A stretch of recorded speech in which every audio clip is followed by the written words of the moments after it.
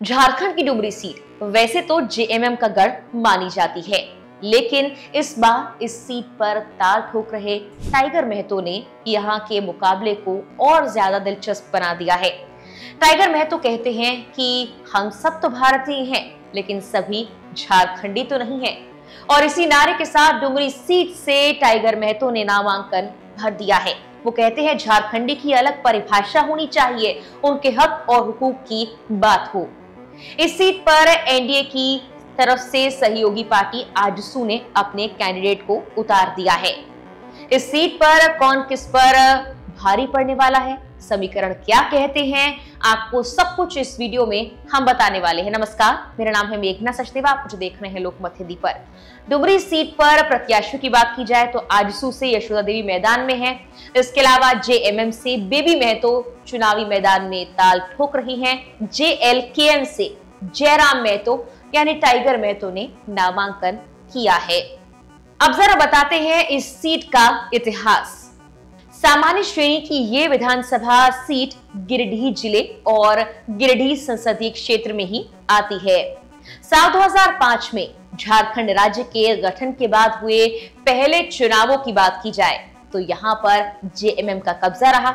डुमरी निर्वाचन क्षेत्र में झारखंड मुक्ति मोर्चा के जगन्नाथ महतो को सबसे ज़्यादा इकतालीस वोट मिले। लालू प्रसाद यादव की पार्टी आरजेडी भी उस दौरान मैदान में थी और उसके उम्मीदवार लालचंद महतो दूसरे नंबर पर रहे। झारखंड राज्य में हुए पहले चुनाव में डुमरी विधानसभा सीट से ही पंद्रह उम्मीदवारों ने अपनी किस्मत आजमाई थी। साल 2009 के चुनाव में झारखंड मुक्ति मोर्चा के उम्मीदवार जगन्नाथ महतो एक बार फिर चुनावी मैदान में थे। नीतीश कुमार की पार्टी जनता दल यूनाइटेड के दामोदर प्रसाद महतो के बीच मुकाबला कड़ा था। जेएमएम के जगन्नाथ महतो एक बार फिर से जीत गए और दामोदर प्रसाद महतो रहे दूसरे नंबर पर। बात करते हैं हम 2014 के विधानसभा चुनाव की। इस चुनाव में भी झारखंड मुक्ति मोर्चा ने बाजी मार ही ली उसके उम्मीदवार जगन्नाथ महतो ने ये सीट फिर अपने नाम की विधायक बने। भाजपा की ओर से टिकट पर चुनाव लड़ने वाले लालचंद महतो को दूसरे नंबर पर रहना पड़ा। साल 2019 के झारखंड विधानसभा चुनावों की बात की जाए तो इसमें डुमरी विधानसभा सीट से 16 उम्मीदवारों ने अपनी किस्मत आजमाई। एक बार फिर से डुमरी से झामुमो के जगन्नाथ महतो ने जीत हासिल कर ली थी। और झारखंड स्टूडेंट्स यूनियन, यानी आजसू पार्टी की उम्मीदवार यशोदा देवी दूसरे नंबर पर रही थी। राजनीतिक विश्लेषक ये कहते हैं कि डुमरी सीट जेएमएम के लिए एकदम सुरक्षित सीट है।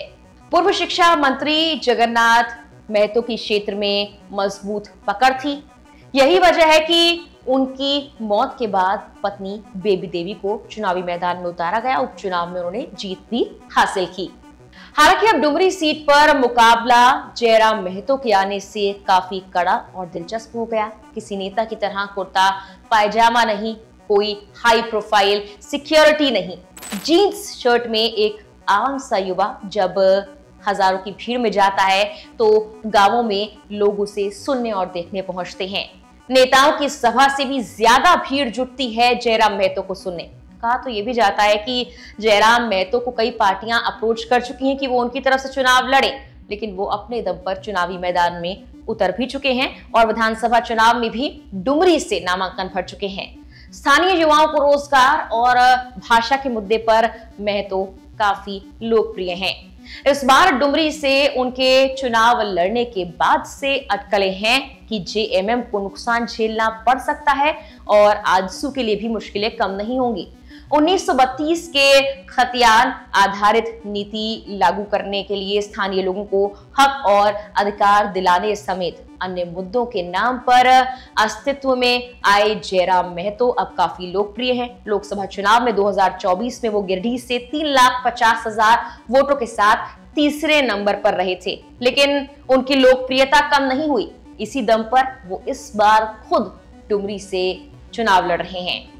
अगर बात की जाए बेबी देवी की तो उन्होंने मैया सम्मान योजना जैसी पहल के माध्यम से, खासकर ग्रामीण क्षेत्रों में ग्रामीण मतदाताओं के बीच अपनी अच्छी खासी पकड़ बना ली है। जमीनी समर्थन उन्हें वहाँ पर मिला हुआ है। उनका अभियान उनके दिवंगत पति की विरासत को जारी रखने पर ज़ोर देता है। उन्होंने साफ़ तौर पर कहा, मेरी प्राथमिकता डुमरी के लोगों खासकर हमारी महिलाओं पर होगा और बच्चों की सेवा करना है। उन्होंने ये भी कहा कि ये सुनिश्चित करना हमारी प्राथमिकता है कि झामुमो की विरासत और ज़्यादा मज़बूत हो। जबकि एनडीए उम्मीदवार यशोदा देवी की अगर बात की जाए तो उनका ध्यान आर्थिक विकास और रोज़गार पर ज़्यादा है। उन्होंने जनता की सकारात्मक प्रतिक्रिया के बाद एक बयान भी दिया और आभार व्यक्त करते हुए कहा कि हम ज़रूर जीतेंगे। वो कहती है, इंडिया के समर्थन से हमारा लक्ष्य बड़े बदलाव को लाना है, खासकर रोज़गार सृजन और कौशल विकास में। डुमरी में अपार संभावनाएँ हैं, इस पर भी वो ज़ोर देती हैं। इस निर्वाचन क्षेत्र में महतो मतदाता 30 प्रतिशत है। मुस्लिम मतदाताओं की बात की जाए तो लगभग 20 प्रतिशत है। लेकिन ये दोनों ही महत्वपूर्ण प्रभाव डालने वाले हैं इस चुनाव पे। झामुमो ने नवाडी और चंद्रपुरा ब्लॉक में अपना गढ़ बरकरार रखा हुआ है, जबकि आजसू पी को डुमरी ब्लॉक में अच्छा खासा समर्थन हासिल है। जेएलकेएम, यानी महतो की पार्टी, महतो बेल्ट में उपस्थिति स्थापित कर चुकी है, लेकिन शहरी क्षेत्रों में चुनौतियों का सामना करना पड़ रहा है। अगर डुमरी के बड़े मुद्दों की बात की जाए तो यहाँ पर पेयजल की समस्या है प्रवासन और बेरोजगारी जैसे बड़े मुद्दे हैं। चुनाव परिणाम ये साफ़ करेंगे कि आखिर इन मुद्दों को सुलझाने के लिए मतदाता किसके नेतृत्व पर भरोसा करते हैं। फ़िलहाल के लिए इस वीडियो में इतना ही।